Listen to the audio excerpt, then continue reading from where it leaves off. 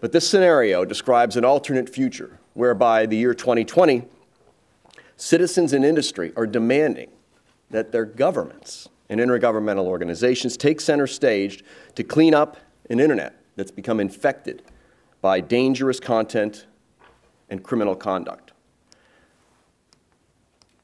What are the drivers for this scenario? And anytime you come up with converging forces, it seems like we now use the meteorological metaphor of a perfect storm.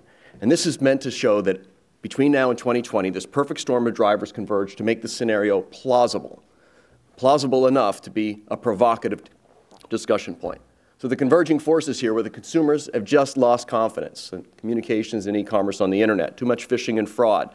Others that businesses can no longer afford the tremendous losses they have, not only from fraud, but from lawsuits, as they're being held liable for the content and conduct of users and others that use their networks and publishing sites. And finally, that governments have successfully, at the same time all of this is happening, governments are showing some success at using electronic surveillance and monitoring to protect their citizens from disastrous terrorist attacks.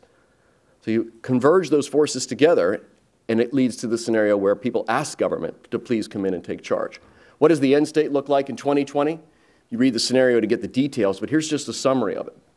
That the governments are begun to cooperate more and more with each other to oversee online content and e-commerce.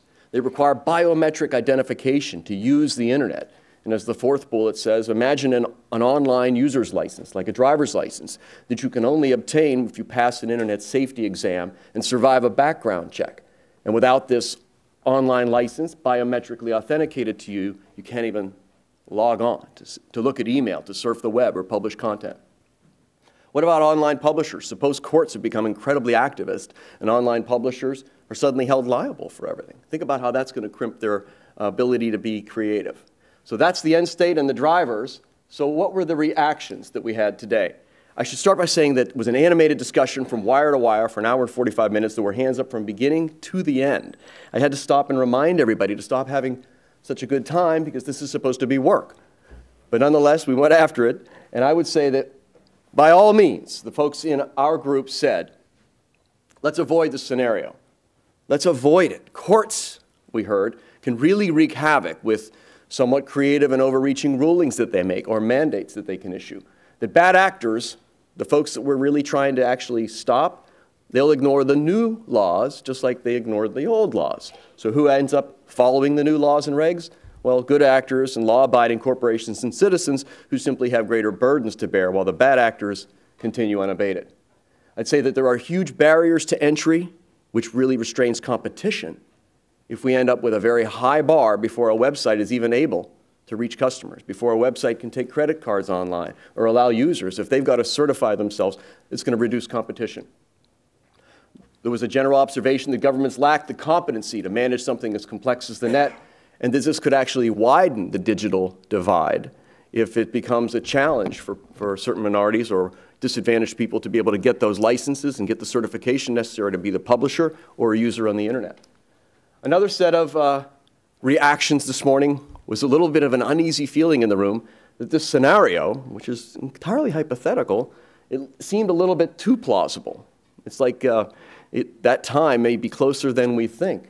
Namely, that uh, there was an observation that we, we already don't have anonymity on the web.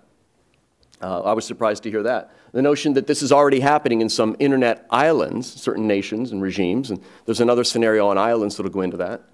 That the digital divide is also a driver behind the desire to have governments take more control, particularly from le lesser developed countries. And finally, that um, the notion of preserving my career or an organization preserving its purpose in life, particularly from legacy telecom ministries and regulation, that's also a driver, that those folks want something to work on as the internet has taken over so much of what their old portfolio was. That's the uh, reactions. And now I wanted to cover just a final slide, which is what were our ideas or advice to the various intergovernmental institutions to avoid having this scenario play out. And we thought it was important to try to conclude with concrete advice because as Yogi Berra said, if, if you don't know where you're going, you, you could wind up somewhere else. Industry. Number one imperative coming out of our group was advice and appeal to industry to get busy with innovation, with investment, with uh, supporting a multi-stakeholder model because it's really up to us in industry to solve these problems. CAN-SPAM didn't stop spam. Industry did. Follow the model, get busy, and support and participate. Industry's got to be taking a lead. Governments, we had two pieces of advice. Please, we said, enforce your existing laws before you focus on brand new ones. And we asked government to, to look at the, at the landscape of solutions as a multiple, multiple set of solutions. The NSB issue, right? No silver bullet. Governments are quick to say this is going to solve the whole problem, and it's always a multifaceted solution. We also didn't want governments to overreact. With ICANN, we had some concrete advice for ICANN, which was to please try to get more governments to participate in the GAC, the Government Advisory Committee, and higher level people from the governments that do participate, higher level people with the technical competence and expertise to understand the complexity of the problems.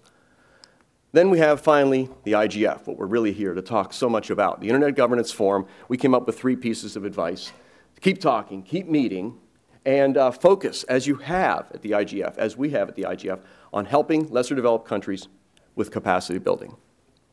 Second was to, within the IGF and even at the regional IGFs, gather and convene people that are technically competent and solution focused and continue to talk about the ways to drive solutions forward.